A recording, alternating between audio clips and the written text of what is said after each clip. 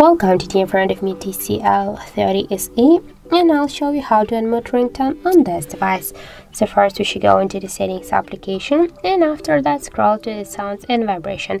Here you can see the ringtone volume panel and now just to unmute your device ringtone you should swipe this blue dot to the right side with your finger by this way. And also we have the second way how we can do that. Just press up or down volume button, that doesn't matter. And after that you should open the full pa uh, volume panel here. And now just by the same way, swipe this dot to the right side with your finger. And by this way we can also unmute our device ringtone. So that's it, thank you for watching and if you find this video helpful, don't forget to leave a like, comment and to subscribe our channel.